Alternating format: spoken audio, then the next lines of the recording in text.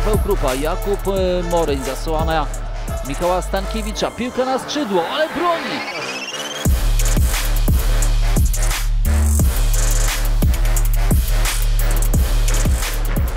Teraz Fazekarz, ale Chmurski to wybronił, niewiarygodne.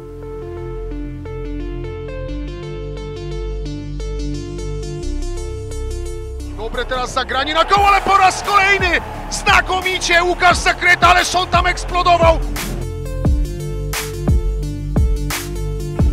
Mączka. Mączka Szczecina górą, cóż za interwencja! Starcewicz kontra Malcher. Malcher tym razem górą. Dobija Starcewicz jeszcze raz Malcher.